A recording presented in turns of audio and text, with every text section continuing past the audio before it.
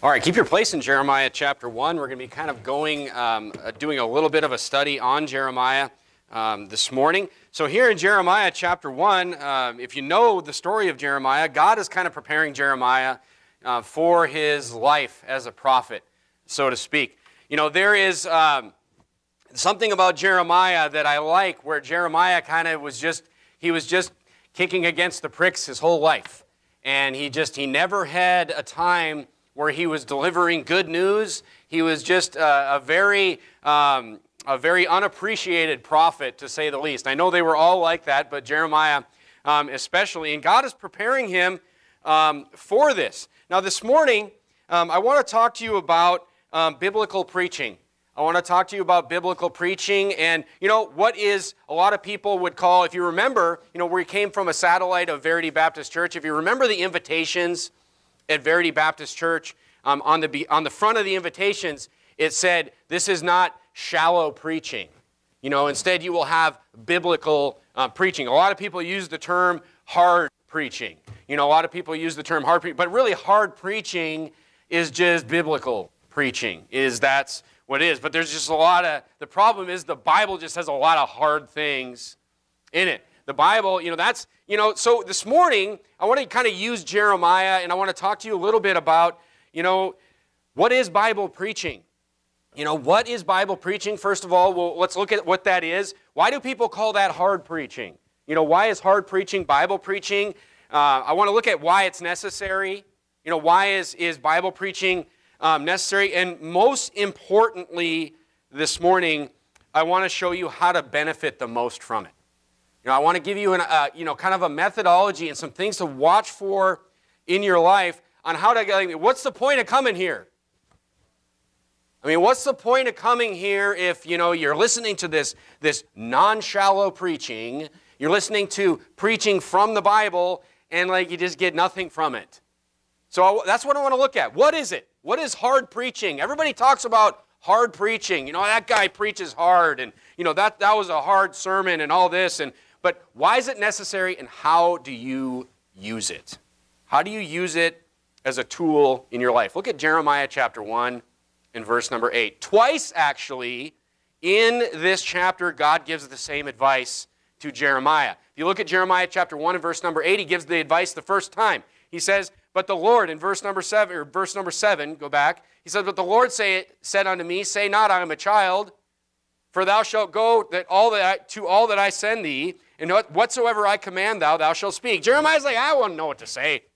Like, how could I even be? Imagine Jeremiah and the life that he had. He didn't even want to do it in the first place. And God is like, God tells him, He's like, don't worry, I'll give you the words. He's like, I will give you the words to say. Jeremiah's like, I don't know what to say. I don't want to do this. God's like, I will tell you what to say. And then God tells him right after that, what does he say? He says, Be not afraid of their faces. God is telling him, I'm going to tell you what to say, and guess what? They're not going to like it. They're going to like it. He even tells them again, what do we know? We need to pay attention to things that are repeated in the Bible. He even tells them again, and verse number 17, look what it says. Therefore, gird up thy loins and arise and speak unto them what? Speak unto them some of the things that I tell you. Decide what you want to tell them. Decide what you want to tell them. You know, uh, put it easy to them. He says, Speak unto them all that I command thee. Because it wasn't, I mean, that was the whole point of a prophet. The whole point of the prophet was God told, he was a messenger. The whole point of the prophet, look, God didn't just get all the people of Israel together and speak to them from heaven. He used the prophets. God spoke to, I mean, when the Bible is saying, and the Lord said, he's speaking through the prophet in those cases. You know, unless he's speaking to the prophet, but he's telling them, I'm going to tell you what to say, and you tell them everything that I tell you. And then he says, he gives them a warning in verse number 17. He doesn't just say, hey, be not afraid of their faces. He says, he says, you better not be afraid of their faces. You better tell them all that I say. And if you're afraid of their faces, I'm going to make you look stupid in front of them. I'm going to make you fall in front of them. I'm going to confound you, is what he says. He gives them a warning. He's not like, he's not like encouraging Jeremiah. In the beginning, he kind of is encouraging him. Hey, don't be afraid of their faces. You know, but he's saying, look, at the end, he's like, you better tell them everything I say. And if you're afraid of their faces, I'm going to confound you before them. You will fall before me. So the first thing, God, I mean, but go back to verse number eight. God here is, there, there's, there's more than just, you know, the people aren't going to like it. Because guess what? As a pastor, and this is one thing that you don't really realize until you're a pastor, because even when I wasn't a pastor and I would preach a 10 minute sermon at men's preaching night, or I would preach a sermon as a guest uh, uh, preacher at Verity or whatever, you know, I never really, I wasn't really preaching at the people. I mean, I'm not really the pastor of the church. I'm not going to get up there and like preach to the people like I'm the pastor of the church. You know, like I'm like I, all of a sudden I think because I'm behind the pulpit, I'm Pastor Jimenez or something. But look, as the pastor of the church, you're going to preach all what God says in the Bible if you're doing what you're supposed to do. And guess what? You can tell when people don't like it. You can tell. That's why God was saying, be not afraid of their faces because like they're going to be looking at you and they're not going to like it. But then, but look what God says. Look what God, I mean, that's pretty much the story of Jeremiah's entire life. Right there. I mean, it wasn't just the people. I mean, Jeremiah wasn't just preaching to the people, he's preaching to the kings. I mean, Jeremiah, in the end, I just read through the end of Jeremiah um, last week, and Jeremiah at the end, I mean, Zedekiah's like, hey, just tell me everything, it's fine. Tell me, and he tells him the truth, he's in prison. You know, it's just, look, it's nobody want, wanted to hear anything that Jeremiah had. But, but the point I'm trying to make is, that, is this this is the pastor's job. So you say, what is hard preaching and why does the pastor do it? That's I'm going to give you two reasons right here. First of all, you know, you can see it on their faces. Preaching the whole word of God, that is hard preaching. All hard preaching is is just preaching. Look, the Bible's a hard book. The Bible's a hard book. The Bible tells you more than just how to get saved. I mean, if the Bible was a gospel tract, I mean, it would just be, you know, a couple pages long. The Bible tells us everything we need to, to, to know, and it is my job to tell you everything. And I'm not to be afraid of your faces either. I mean, turn to Galatians chapter 4. I mean, God is telling them, hey, Jeremiah, they're going to be mad at you. Look at Galatians chapter 4 and verse 16. Look what Paul says. Look what Paul says. And this is what, you know, this is what I really love about Jeremiah chapter 1, 8. But look at Galatians chapter 4 and verse number 16. Paul says, Am I therefore your enemy? Because I tell you the truth. You know what Paul's saying here? He's like, I'm preaching everything that the Bible says. I'm preaching everything that Jesus wants me to say. He's like, and, and am I just your enemy because of that? Because I'm telling you the truth of God's word? But that is why in Jeremiah chapter 1 8, God, you know, God gives Jeremiah some assurance. He says, you know what? Don't be afraid of their faces. He's like, people are going to be mad at you for preaching this, but guess what? I am with thee, he says. God is backing up Jeremiah here. He's backing him up. He's saying, look, when everybody, when, when nobody wants to hear what you have to say, you have to go and you have to say all of it. You don't back off of it, you say all of it. He's like, don't forget at that time. It's like, I am with you. Like, I will never leave you, is what God is saying to Jeremiah. So look, I mean, I am fully aware that everything that is preached at this church, you know, it, it may upset people. I am fully aware of that. It's not a surprise to me. I am fully aware that people will be mad at me, they will be mad at my wife, and I'm full that this is not a surprise to me. It's everywhere in the Bible. If you go and you decide you want to be a pastor and that shocks you, you're not going to last long. You're not going to last long. But look, here's the thing. Here's the thing that you need to understand. And this is what I want to get across. One of the reasons you have to understand why a pastor does it. Let's talk about why a pastor preaches the whole Word of God, because that is hard preaching. That is hard preaching. I love hanging out with you guys. I love fellowshipping with you guys late. I love going fishing with you all. My wife loves hanging out with. Look, there is no other people on the planet that I would rather spend my time with than, than you all. And I mean, I mean that from, from the bottom of my heart. But what you have to understand is I am not your friend. Like, oh, that's mean. I am not your friend, I am your pastor. And you have to not forget that. We can do all these things that friends do. And you say, oh, you don't want to do those things, you just do it. No, I love doing those things. Like spending time with the church family is the one thing that I prefer to do.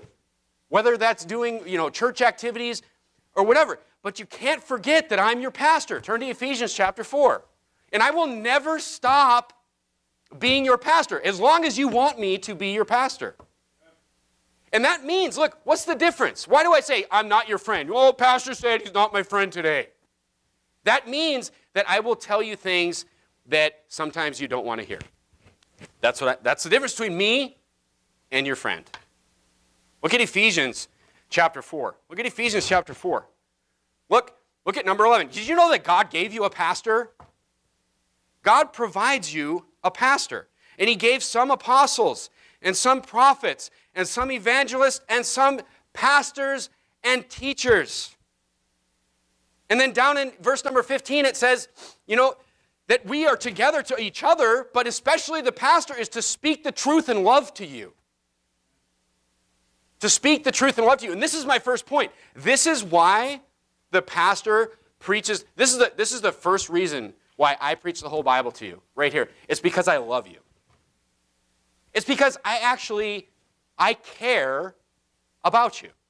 I care about your families. I care about your children. I mean, if you haven't gotten that from me in the last two and a half years, this is the wrong church for you.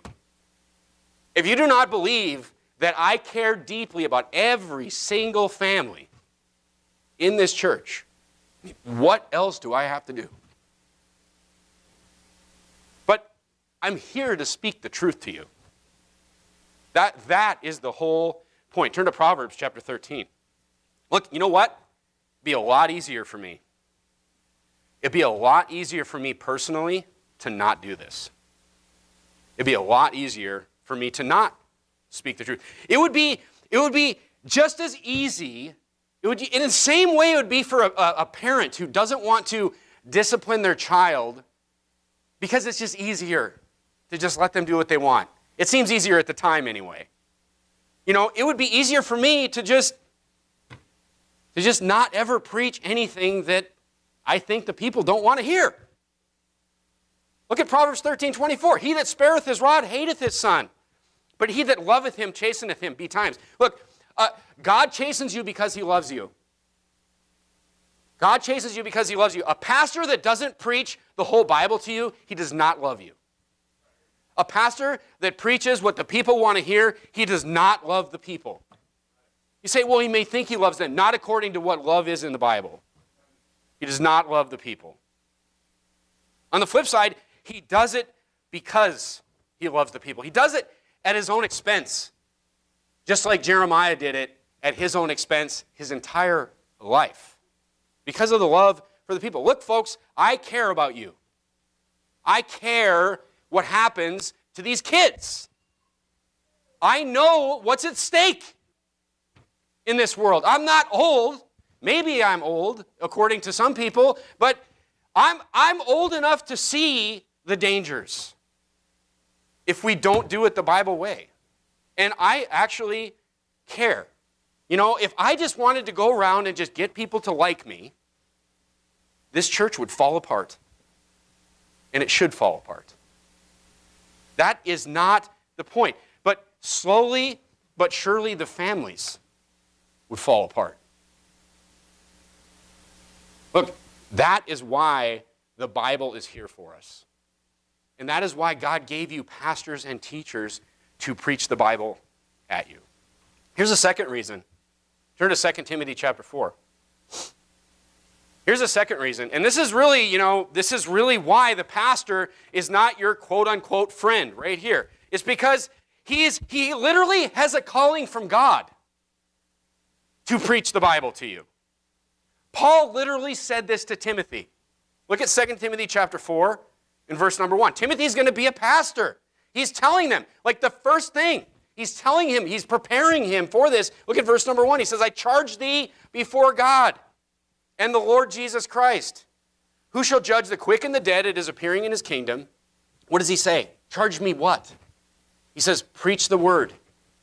Be instant, in season, out of season, reprove, rebuke, exhort with all long suffering and doctrine. He's like, whatever is needed, reproving, rebuking, exhorting with all long suffering and doctrine. You know he says? He says, he says, be instant doing that. That means don't delay. That means when it's needed, you do it. And he says, out of season, it doesn't matter. Oh, but that's not a popular thing to preach. That's another thing. Like, how many things do we preach here that just aren't popular today? But, but it's the command of God to the pastor. Now, look, the countercultural stuff, everybody likes that stuff. The out of season stuff that's out of season outside the church, everybody loves that stuff. We preach about the government, we preach about, you know, the homos, eh, homosexuals and, and just the perversion everywhere in this country and how it's all being accepted everywhere. People love that. They eat it up. But when it becomes countercultural to what you're doing, people don't like it. But it's out of, look, it's going to be out of season for you too. I mean, what if it's against your current culture that you're, you're living right now? That's out of season for you. I mean, Everyone's going to be hit by a sermon. I mean, here's the thing Paul's training a pastor here. You know, Paul is training a pastor. Notice, and notice how he say, doesn't say, look back at verse number one. Notice how he doesn't say, Timothy, you do it this way because this is how I do it. No, he says, I charge thee before God. He said, This is what God wants done. I charge thee before God and the Lord Jesus Christ. I mean, that is serious. He's like, You do it my way. God is saying, You do it my way, or you correct it. With the, with, this is why the pastor can't be your friend. See, the difference between your friend and the pastor is your friend doesn't have this charge. Your friend doesn't have this obligation from God. You know, your friend is, I mean, God's pretty serious about this, both with Jeremiah and with Timothy. They don't have this obligation. I have seen situations in the last two and a half years where a friend was giving advice to someone, stepping in front of the pastor. And look, here's the thing if people don't come to me, I'll say this again and again. People don't come to me and ask, I'm not going to tell you. I'm not going to, I'm not really going to like come into your home and like, you know, get up all in your business. Like that's just that's not who I am. That's not what I want to do. And I've seen situations in this church where someone steps in front of the pastor and starts giving advice that will literally ruin someone's life. I've seen it several times, actually. But guess what? That friend doesn't have the same obligation as the pastor. So he's like, yeah, you know, okay, you know, you do, yeah, you just want to be, you just want everything to be good, everything to be happy you know, whatever, they don't have that obligation. That's why it's so bad. You know, use your pastor. They're on a different level of responsibility. And it's a big deal. Turn to Acts chapter 20. Turn to Acts chapter 20. You know, I'm not just here to tickle your ears. Acts chapter 20. Go to Acts chapter 20. Let me turn there myself. Acts chapter 20. Look at verse 26. Acts chapter 20, look at verse number 26. I mean, look at how serious Paul, you know, he's leaving the church at, at, at, Ephesus here. And this is what he says. He says, Wherefore I take you record this day, that I am pure from the blood of all men. For I have not, why? Why? He's like, I'm not, he's like, I, he's like, my responsibility has been fulfilled. He's saying, whatever you do, what, when I'm leaving, and whatever you do, He's like, my responsibility, I'm pure from that. I'm pure from the consequences that come from that. And he says, like the blood that, that will come, I mean, just the, the hurt that will come from that. Why? For I've not shunned to declare to you all the counsel of God. That's why. He's like, I came and I preached the whole, I preached the whole Bible to you. I told you everything that God wants to know. He's like, therefore, it's like, I have fulfilled my obligation. If you don't do it, that's on you. So if I sit here and I preach the Bible to you and I tell you what the Bible says about X, Y, and Z, whatever, and until I'm blue in the face, I have done my job. And then you go out and you don't want any counsel or any help or anything like that. You want to go out and do whatever you want. That's what Paul is saying. He's like, I'm clear because I told you everything. Now, if he didn't tell him something, if he just like, you know, ah, I don't really want to go there. You know, I don't really want to go there with them because I don't want people to be upset at me. Then, you know, then the blood is on him. Isn't that what that implies? Look, the pastor has an obligation to God to do to administer the church of God properly. Look at 1 Timothy chapter 5. 1 Timothy chapter 5 and verse number 20. Look, I could read you verses on this all day long. 1 Timothy chapter 5. Look at verse number 20. 1 Timothy chapter 5, verse number 20. I mean, the Bible says, he says here to Timothy, he says, Tell them that sin, rebuke them that sin rebuke before all, that others may fear. You know what's great about that verse right there? First of all, let me just tell you something personally here. First of all, we have all been hit by sermons. My, my, uh, let me give you some perspective. When we moved to California, we started going to Verity. We started going to Verity. I said to my wife after like a week, two weeks, three weeks, I was like, man, this is, this is some rough stuff. Like, I even think I might have said at one point, this guy's, this guy's pretty hard on his people. Pastor Jimenez, who I was talking about. But you know what you figure out? Because guess what? It nails you. The preaching hits you. It's supposed to. But let me tell you something about myself. If you're ever sitting there, you're ever sitting there in the, in the chairs and you're just like, oh man, this is about me. Look, I don't write sermons for one person, ever. It's a personal policy of mine. I don't ever write sermons for one person. So, if you're getting hit by every single sermon, that's not my fault. I'm just preaching the Bible. If you're sitting there and you're convicted by every single sermon, or even one sermon, look, I didn't write the sermon for you. I mean, what, who do you think you are? That I'm just going to spend all my time writing a single sermon about you? I have had single situations where one person was causing, sometimes they didn't even know it, was making some kind of, doing something in the church that was not appropriate or something I didn't like. I just pull that person aside. And I've done this many, many, many times. And I just pull that person aside nicely and tell them, look, this is something that we don't do here, and because of this and, and that. And I just nicely explain it. Look, here's the thing if it's being preached on, it's a problem in the church.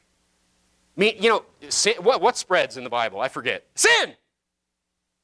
Things spread quickly in the church. If it's being preached on, it's something that is an issue for not just one person in, in the church. It quickly spreads. But you know what you realize? You know what you realize? You know, it didn't take me too long to realize that the reason those sermons were so hard and they were so hard hitting is because the pastor actually cared about the people. Because Pastor Jimenez, he, he cares about the people in his church. Look, you can't be a pastor. You, you should never be a pastor or want to be a pastor if you don't have a heart for people. Honestly, I know we go out soul winning, and honestly, I know we're going to get rewards in heaven for that, and I know that's very biblical. I go soul winning for one reason I go soul winning because I was saved later in life. I don't feel like I deserve to be saved. I felt like I slid into home. I, I, I was so thankful that I was saved, and I just, I just want to I just want to give other people that opportunity. That's why I go soul winning. I know we're going to get rewards. I know it's to be profitable. I know it's good for my children. I know it's good for your children. I know it's good for the church. I know God will bless the church on earth if we keep doing this. But that's the main reason I do it is because I actually care if other people go to hell, because hell's real. We forget about that. I actually care. I mean, if I care about those people out there, that's why a pastor does it. He does it because he cares for the people, and he does it because he has an obligation from God to do it. I take that very seriously. That obligation from God. Look, I, I mean, I'm, I'm relatively, I, I went and I hung out with some pastors that just, like, I'm relatively new to this. And I don't want to mess it up. And I don't want to take any kind of, like, creative freedom. I'm just going to do what the Bible says. Because, look, I'm, I'm afraid of God. I'm afraid of God. So, look, that's why, that's why you hear sermons like this. That's why you hear the hard preaching. And everybody loves the hard preaching that's preaching against the world. But when it comes home to roost, then, you know, they don't like it so much.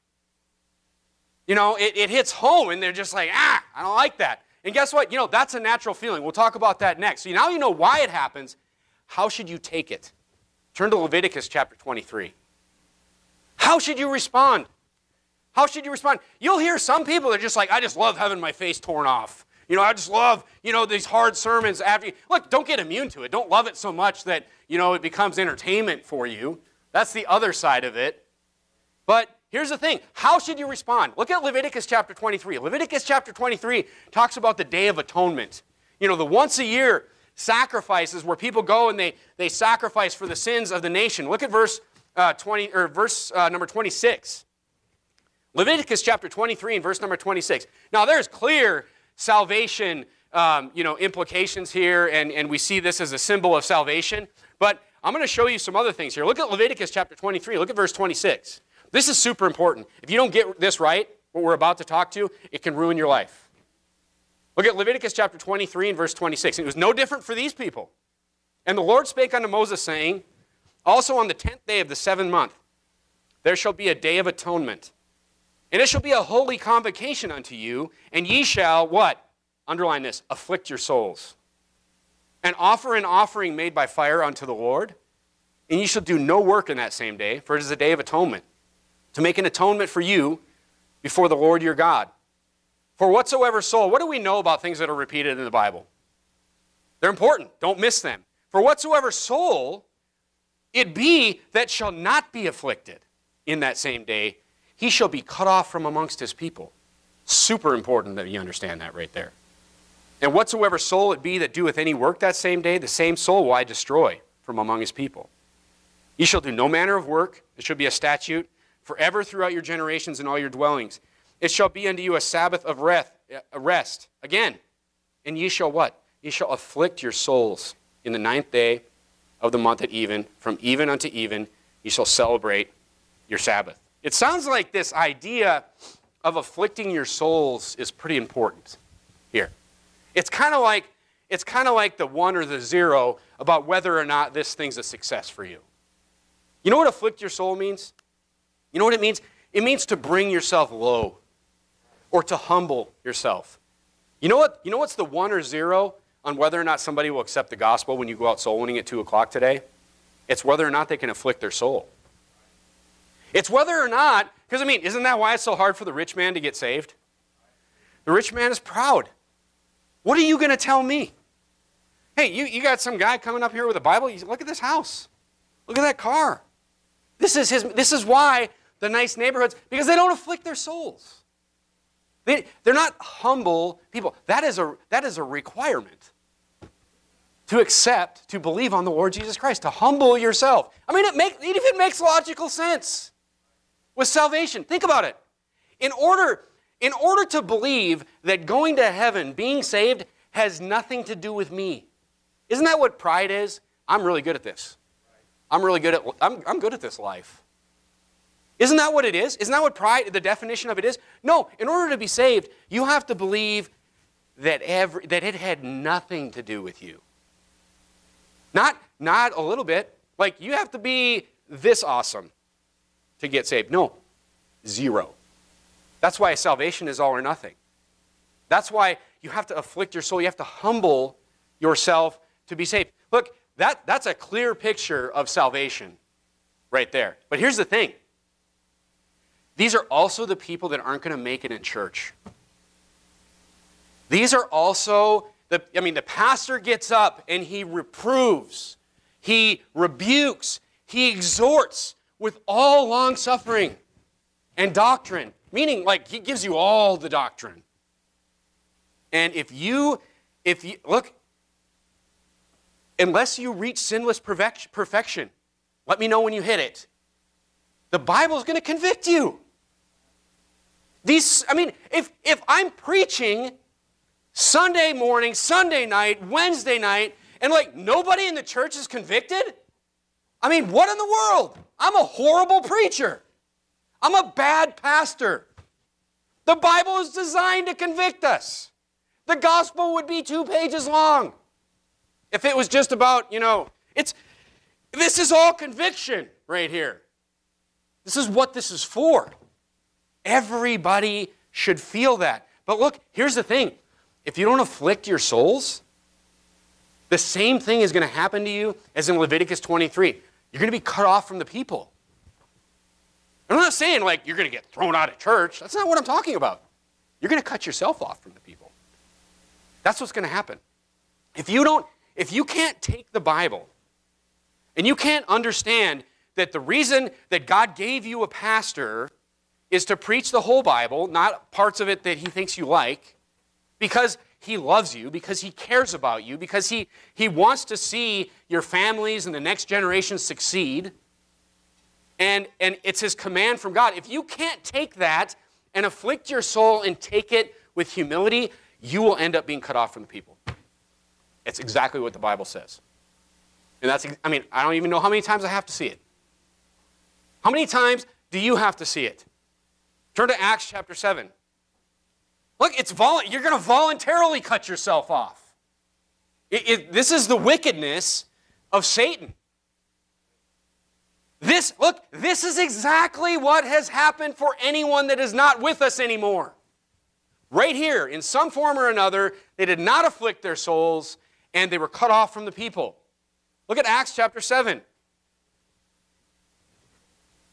I mean, sometimes it takes longer and shorter for certain people, but the bottom line is if you stiffen your neck, as these people did, against the preaching of God's word, it will, it will end badly. Look at Acts chapter 7, look at verse 51. Stephen preaches this great sermon. Stephen just, you know, just gives it to the Jews right there. I mean, just, just lays it all out there. Look at the, the verse number 51. Look at what he says. Look what he says. If, if you don't afflict your souls, this is the opposite of it right here. And Stephen just calls it right out. Ye stiff necked and uncircumcised in heart and ears. Ye do always what? Resist the Holy Ghost. Look, these people weren't saved. He's saying, he's saying, you know, you're being you're having the gospel preached to you. You know, Jesus was here. He's like, you just resisted the whole thing. Because they just stiffened up against it. Which of the prophets have not your fathers persecuted? He even goes back in history. He's like, You killed all the people, you persecuted all the people that, that, that God used to preach all his word to you. you. You persecuted them, and they have slain them, which showed before the coming of the just one, of whom you have now been, been now the betrayers and murderers. I mean, talk about, you know, he softened that up. I mean, that's a truth and love right there. He's saying they st- and look, they, look here, they killed the preacher for it. They killed him. So the point is, the point is turn to Acts chapter 17. Turn to Acts chapter 17. Well, actually, don't turn there, but here, here's the point. Here's the point. Re- here's your choices. Receive preaching with an afflicted soul. And hey, you know what? Just like Acts chapter 17, the Bere- be the Bereans. Go and search those scriptures daily, if it be so. You're like, I don't like that sermon. Go look it up in the Bible. Go see if it's in there. But if it's in there, afflict your soul. Receive it. I mean, how did they know? How did they know Jeremiah was speaking God's word? Think, have you ever thought about that? Because, like, the things that he said were true, first of all. Were they, were they doing the wicked sins that he said? Yes, they were true. And then, did those things happen that he said? Yes, they did. That's how you know. So you go and you be a Berean in this church. This church will always search it out, find out what it says, and then afflict your soul and, and receive it. And then th- that, that's how you win in this Christian life, folks. That's how you take, that's how you handle hard preaching in your life. That's how hard preaching works for you. That's how the Bible fixes you by afflicting your soul. The other thing you can do is become stiff necked.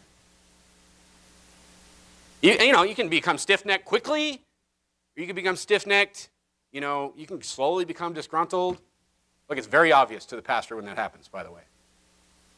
And look, but who does the Bible say in Acts chapter 7 that you're stiff-necked against?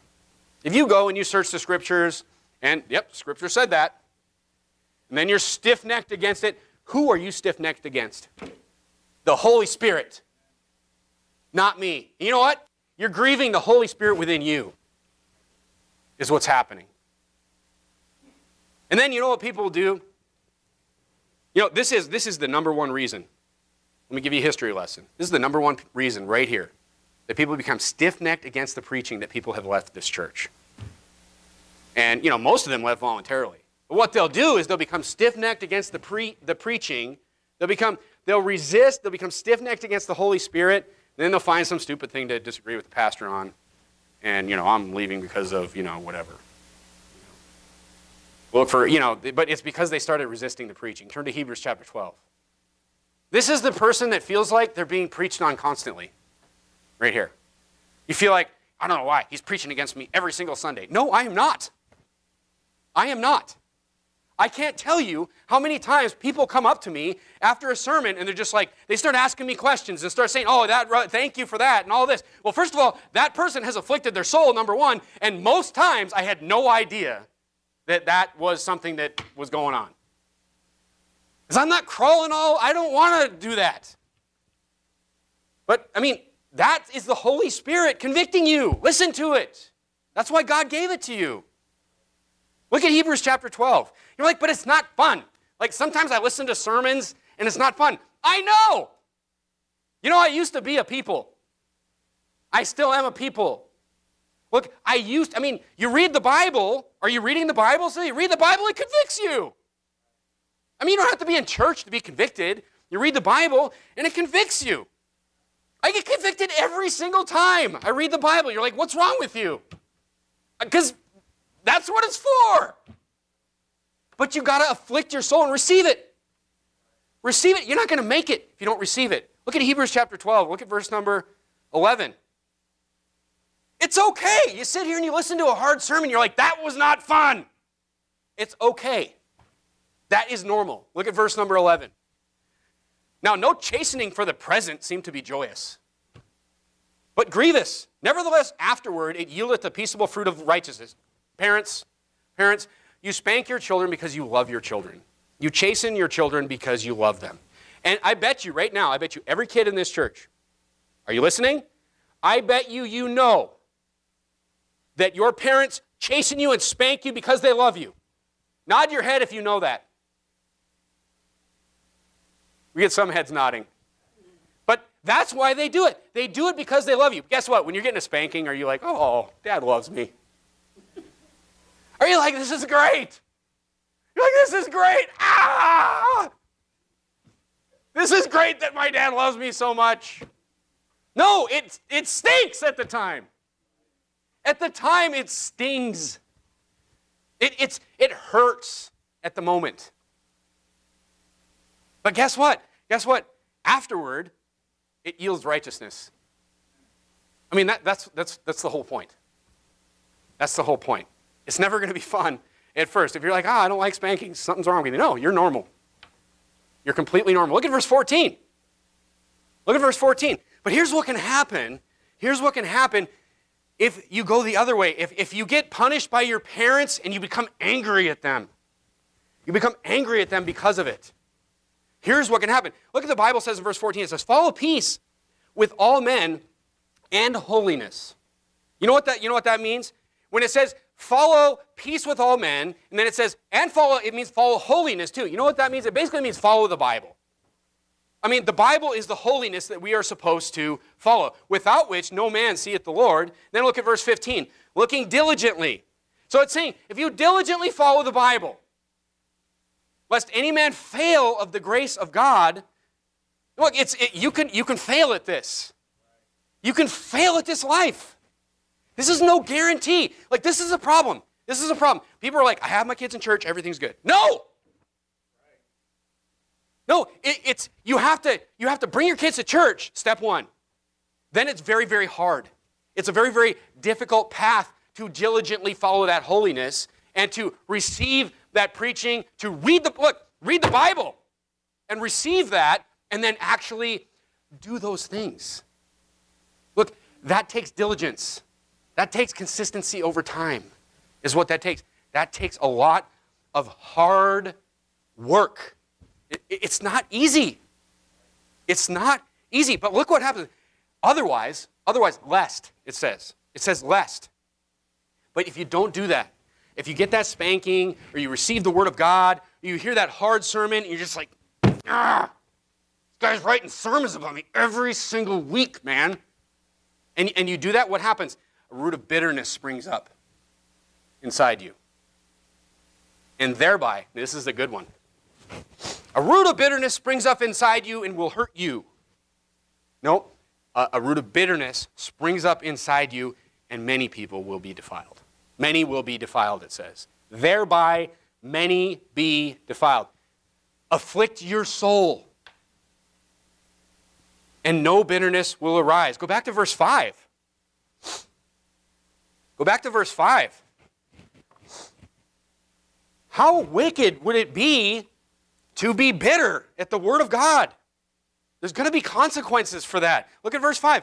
And have ye forgotten, and ye have forgotten, the exhortation with speakage unto you as unto children, my son, despise not the chastening of the Lord, nor faint when thou art rebuked of him. Despise it not, faint not. That means, that means don't stop pursuing that holiness. Don't stop don't despise it and don't let it stop you from pursuing what the, the preaching, what the Bible, what your Bible reading is saying.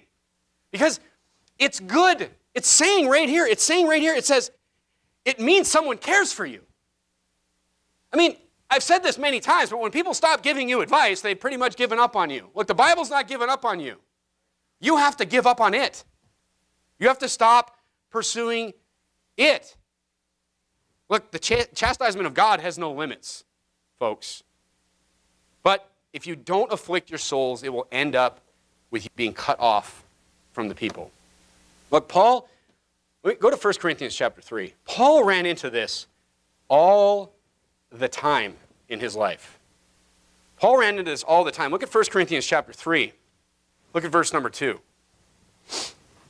1 Corinthians chapter 3 and verse number 2. So what do we know so far? We know that you know, what you know, hard preaching, as the term is thrown around, is simply a preacher that gets up and just doesn't filter the Bible to you. He just, he just tells you everything. And look, I mean, you're reading the New Testament this month. Is there not a lot of things in there where you're just like, man, nobody really preaches this stuff anymore? Have you not seen those things as you read through it? Look at 1 Corinthians chapter 3. So we know that you know, hard preaching is the whole Bible. The pastor does it because he actually cares he loves you, and He's commanded by God to give you all of the words of the Bible. And for you to receive it and for it to work for you in your life, you have to humble yourself. Basically, is what Leviticus chapter 23 is talking about. Just like somebody needs to be humbled to be saved, you have to be humbled to continue benefiting, to be, continue growing from the words of the Bible. Look at 1 Corinthians chapter 3 and verse number 2. Look what Paul says here. He says, I've fed you with milk and not with meat. For hitherto you were not able to bear it, neither yet now are you able. So look, he, he tried, he's talking about doctrines here. He's like, he tried the, the meat. He tried the, the heavy doctrines and he was just like breaking the people. So he like went back to milk. And he's like, what he's saying is, I, I, I, you know, I fed you milk and then I went to meat and it's like, you couldn't handle it. It's like you're just breaking the people. And then he's like, so I went back to milk He's like, you're still, he's, he's rebuking them here. This is a rebuke right here. He is saying, you're still not able to handle it. He's like, you're still not able to handle the whole, you know, all the doctrines of God. So had, I have to go back to, he's like, I had to go back to milk and I still have to give you milk. He's like, why are you not able to handle it? This is important. This right here is important. Why we all need to grow together as a church. Look, it's important because, and it's a challenge. I get it.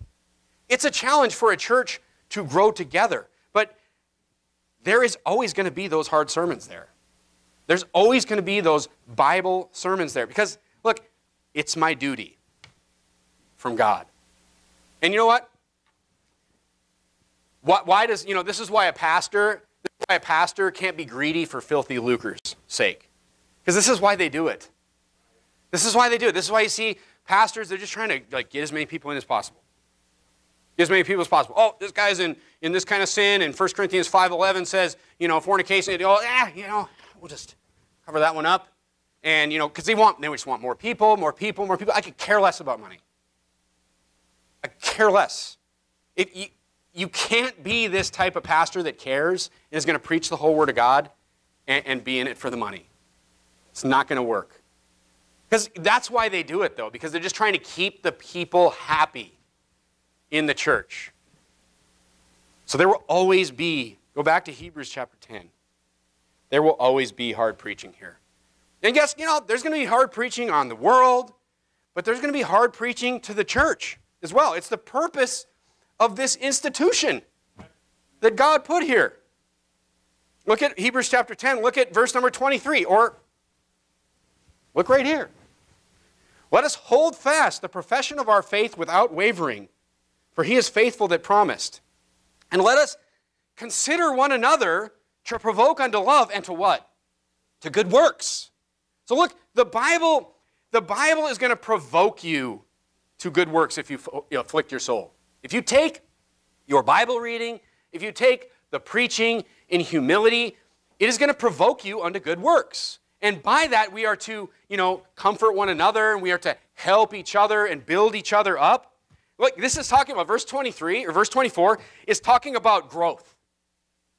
That's, it's talking about Christian growth, where you hear the Bible with the right soul, with the right heart, and you just grow from there. And then you hear another hard sermon, and you're just like, bam! You get another one in the face, and you're just like, yeah, I, I you know, ouch, that hurt. But then you're just like, I, I got to change some things. And I got to move forward in my life. And, and this is Christian growth right here. I mean, that's, that's verse 24 Christian growing. And then verse 25, of course, don't forsake the assembling of ourselves together. You know, but yes, we're supposed to be together. We're supposed to read the Bible. We're supposed to hear the word of God preached. Just as Jeremiah was supposed to say all the words of the Lord. And that's supposed to make us do works. That's supposed to make us grow. Yeah, we're here to worship. I get it. But we're here to hear the word of God too. 2 Peter 3:18 says, "But grow in grace." You're supposed to and in the knowledge of our Lord and Savior Jesus Christ. See that? As you get more knowledge from the Bible, you're going to grow in grace. That's what you're supposed to do. You're supposed to grow in grace. But here's the thing you're not supposed to hang out in grace. It doesn't say chill in grace, it says grow in grace.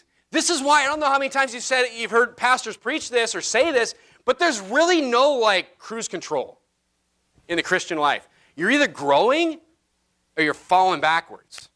Like, I mean, that's tough, right? You're like, I just like to peg it on, I just like to peg the cruise right here. I feel like I'm pretty separated right now. I feel like, you know, things are, but I mean, here's the thing your kids are growing up, aren't they? You're still going out there. You're still living in this world, are you not? This is why people are going forward or backwards. I don't see any cruise control. I see forward growth and backwards falling, is what I see. Because that's exactly what happens. But that's what we're supposed to do. There's no hanging out in the Christian life. Go to Jeremiah chapter 12. Because hanging out in the Christian life is going to lead you slowly to a bad place.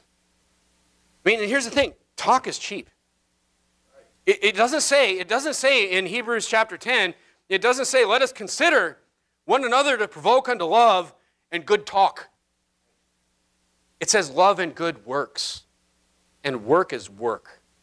Works are work. These things, look, I, I get it. I get it. These things that we talk about in the Bible, especially in the environments that we're in today, it's not easy. It is not easy to do. I get it. Having problems? Help me help you. Look at Jeremiah chapter 12. Jeremiah chapter 12. Look at verse number 1. We can go all over Jeremiah, but we'll just end here. Look at Jeremiah chapter 12. Jeremiah, like, he's having a hard time right here.